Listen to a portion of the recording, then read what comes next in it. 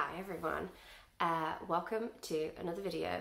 Today's a TBR and it's an exciting one for me personally because it's for Legendathon, which is a super chill new readathon that is happening in December um, that is run by Jean over at Jean's Thoughts. Um, Jean is a booktuber, book reviewer, author, and recent getter of PhD in ancient history.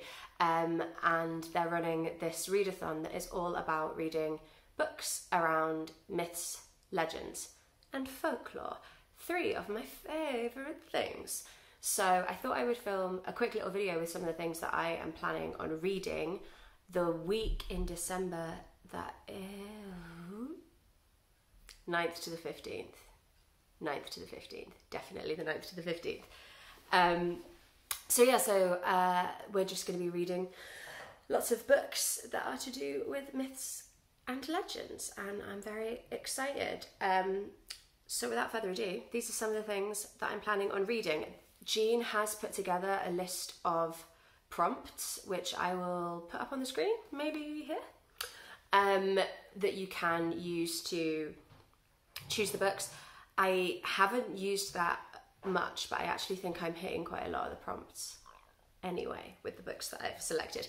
It's an ambitious list for a week, um, but we will see how we get on. First up, I have never read The Song of Achilles, and I know it is beloved. I'm a bit scared to read it because it's so hyped up in my head. So, um, as you might guess, this is about Achilles, and um, this is Madeline Miller's retelling of the story of Achilles. And uh, in it, Achilles and Patroclus are um, lovers, I think. So we've got some great queer rep. Um, I'm really excited about this one. I loved Circe, um, and I've I've heard some people say that they prefer this, and some people say that they prefer Circe, which like I think she's got a bit of a Sally Rooney thing going on, where there's like two camps. So I'm hoping I'm to love this one even more than Circe. But to be honest, I really, really liked Circe. So even if I don't love it as much, that's okay. So looking forward to getting to that. So obviously you've got some Greek myth. And then this is this is a nostalgia trip for me and this could massively backfire. This is The Moon Riders by Theresa Tomlinson. I loved this book so much when I was like a tween. Like I adored it. This is also, um, I, th- yeah, I'm pretty sure this is me not even remembering it. I'm pretty sure this links to the siege of Troy. I think it follows the Amazons who were nothing to do with the Amazon River, but the Amazons that were in and around the siege of Troy. Um, and it's all about like warrior women and like Cassandra is definitely in it. So yeah, it's gotta be Troy. We will remind, but in my head, this is amazing. But obviously, it has been a couple of decades since I last read it. So um, we'll see. So I'm like, again, excited but nervous because I really don't want to ruin this for myself. Um, we're going to give it a go. Um, the next one is I'm playing a little bit fast and loose with folklore here, um, but it's a book I really want to get to. Um, and it is The Beginning of the World in the Middle of the Night by Jen Campbell. Um, I love Jen Campbell on BookTube, but I've never actually read any of her books. Um, and I really, really, really like her. So I'm hoping I'm gonna like this. These are sort of modern fairy tale retellings. So like we're folklore adjacent. Um, but yeah, Jen was actually the very first person who I ever watched on BookTube, and it was when I'd finished reading There But For The by Ali Smith. Are we to do a video on here where I don't talk about Ali Smith? Possibly not. Um,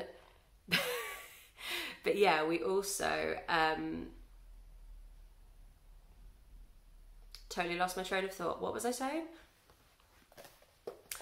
Yeah, so I Jen Campbell. That's what I was saying. So uh, Jen had a video where she was talking about There But For The because I'd finished reading it and just had one of those moments where you know when you finish a book and you're like, I must immediately hear other people talking about this book on my mind is gonna just seize up. So I found that video and was like, this is a thing that people do. People talk about books on the internet. Um, I'm elderly, I'm sorry. Um, but yeah, so I'm really excited to get to some of Jen's books. The next one is um, is another YA actually. I'm not a big YA reader, but I'm just like surprising myself left, right, and centre here. This is The Gilded Ones by Namina Forna, um, which has elements of West African mythology. I think, I think specifically Sierra Leone. Um, but yeah, I'm really looking forward to getting that and lovely spread, just love a spread. Um, yeah, so got this one. I'm hoping like so this is short stories. These two are YA. I think I think I'll be all right. I think I'm going to be able to get through these. Um, oh, I forgot something. Wait there.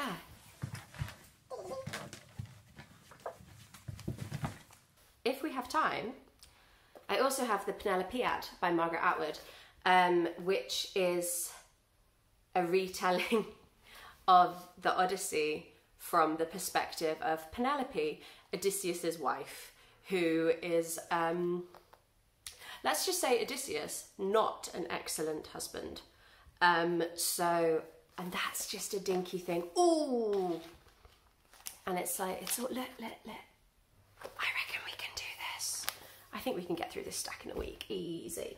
Um, and the final physical book I've got is um, this, which is a um, publication by Cunning Folk. This is that Earth issue, and this has, I mean, it says that, look, magic, mythology, folklore, the occult. So I'm bang on with this. And I actually think Jen Campbell has a piece in here as well. But it's got, um, it's just beautiful and it's in full color and it's got stories, it's got artwork. And um, one of the prompts on Jean's prompt list for the readathon was to read a kind of genre or style that you don't usually read. I really would like to get more into reading um, this sort of publication, like kind of anthology, kind of magazine ish. Um, but yeah, so I'm really looking forward to. Oh, there's Jen's there's Jen's poem in there. Um, so yeah, I'm looking forward to getting to that. I also had a couple of books and realised the names of the book are on my phone, which I'm currently filming on. Um, so there are some audiobooks that I like quickly earmarked, um, but I think they're more like anthology type, like collections of stories from different cultures, because again, that was one of the prompts. Um, so I think there was a collection of Japanese mythology and a few other bits because I normally have an audiobook on the go as well, so I'll definitely be able to hit up at least one, maybe two titles in a week. I will maybe insert the covers of the books that I earmarked on Scribd because uh, this has been a fail. Um, so yeah, those are those are the books that I'm planning on getting to. Can we read this in a week? Yeah. Um, one of the prompts is to read a book that is recommended to you. Um, so I thought um, I would recommend some books that I have read in case you wanted to take part uh, in some form.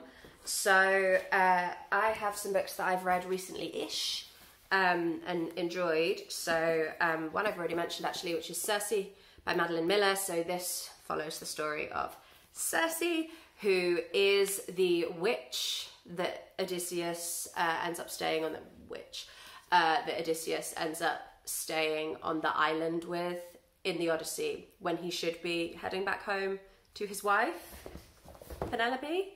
Um, so, uh, but this is really really great. I I loved it, and I didn't know that much about Circe at all going into it.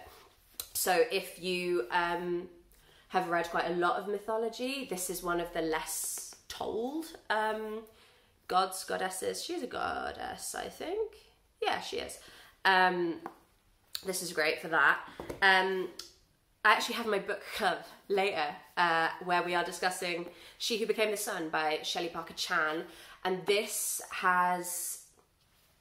It's not like as explicitly a myth kind of retelling, but it is very kind of set in um, Chinese culture and there are some sort of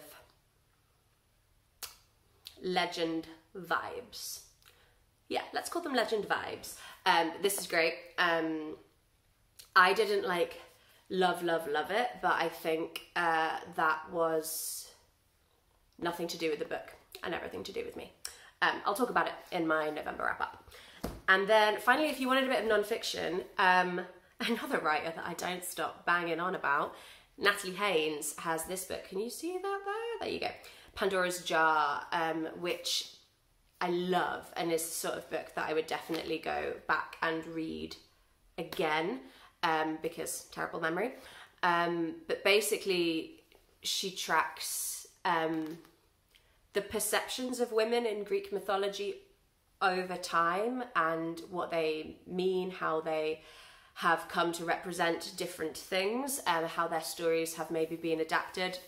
Um, because often what would happen is that they'd start incredibly strong, like the women in Greek myth at the time that these stories were first being circulated were strong, and then at some point, people, people decided uh, that nah, nah, too too strong. We gotta we gotta rein those ladies in a bit. So um, it's fascinating, and um, it's written with the characteristic sort of expertise, but warmth and wit and accessibility. This is a super. This is not an academic text. This is a super super accessible. Um, sort of behind the scenes of Greek mythology, and I really, really recommend it. So, there we go if you are going to be taking part in legend Legendathon, like let me know uh, in a comment down below because I'd love to know what you are planning on reading or if you have any great myth, legend retellings, uh, particularly from other cultures. I I had a little kind of Google around and it's not always easy. It feels like when you search for myth legend, you get a lot of YA fantasy, and I'm very aware that I, I actually have two YA fantasies in here, which is more than I would normally like that is a higher proportion than I would normally have, but I think it's because so many retellings tend to hit that audience. So if you have like more contemporary, literary, definitely adult retelling suggestions, I would love to know what they are.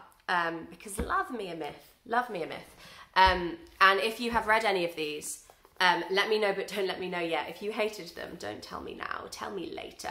I'm going to do a vlog um, in that week where I'm reading all of these books, hopefully all of these books. So, um, yeah. See you later. Bye.